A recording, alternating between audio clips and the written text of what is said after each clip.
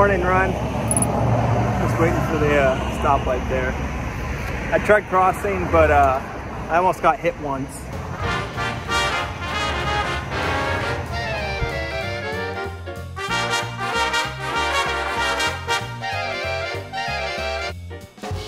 Like many young drummers, when I got to high school, I, I did drumline.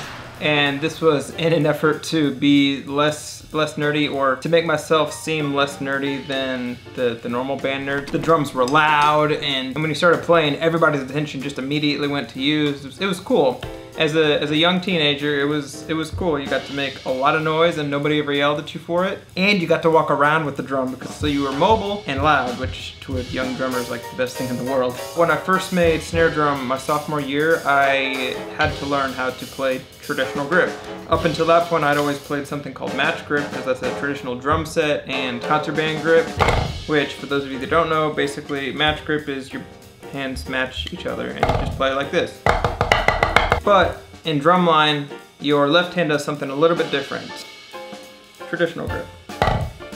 Your right hand stays the same, but your left hand is doing this weird, weird thing. When they had a drummer play on the battlefield, that was a way to communicate different orders. But the drums that they had angled slightly, and if you try playing drums like that, you're gonna be doing this weird, like your shoulder's gonna go up, and it's just, it just doesn't work. And that's why they invented this grip or did traditional grip because suddenly instead of having to bring your shoulder up, you can relax it and but how do you actually like what's the correct form to to hold a, a drumstick in traditional grip? Because I see a lot of this which that I see a lot of this I've actually seen this and something somewhere in between.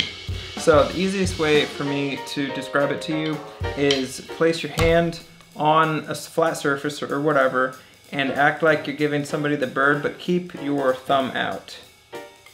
Once you have that, you're gonna place the drumstick in the hand just like this, so that the thumb is on top and the middle finger is, is on bottom. You're gonna curl your fingers around the drumstick, and this middle finger right here has to stay flat. And the thumb is gonna go up like this. You're gonna have something called your fulcrum, and that's going to be between the bone on your pointer finger and your thumb and that's what's going to cause the drumstick to move back and forth. For traditional grip, your fulcrum's going to be at the base of your thumb right here. For matched grip or normal grip with the right hand, to get the drumstick to move without getting your wrist to move, you're just going to pull your fingers like this. For traditional grip, obviously that doesn't work. So to get that same kind of movement, you're just going to pull your pointer finger like you're pulling a trigger on a gun or, or something else. And while you're doing that, try to resist the urge to curl your, your middle finger.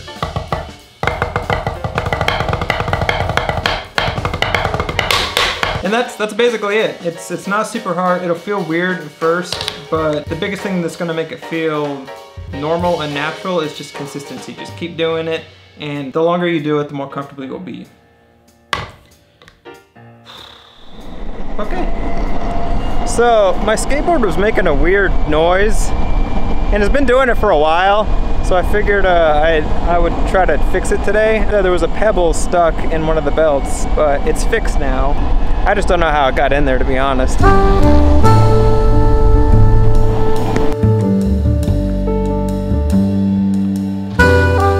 So I'm at a campsite that I actually found when I was running one day. But I'm at a campsite by the lake in Nashville, Percy Priest. I don't know what their electric skateboard policy is. There's a, there's no signs. So I just approach it like everything else in my life. Do it, and if I get in trouble, ask for forgiveness. Served me well so far.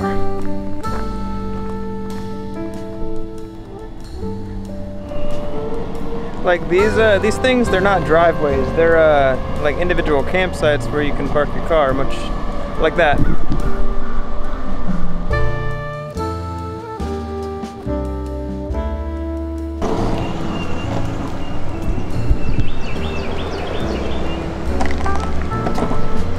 That's uh, that's kind of it.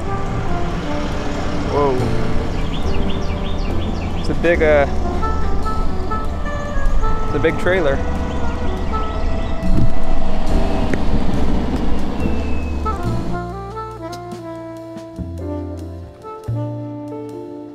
Like this was, uh, like in Nashville, like this is Nashville proper.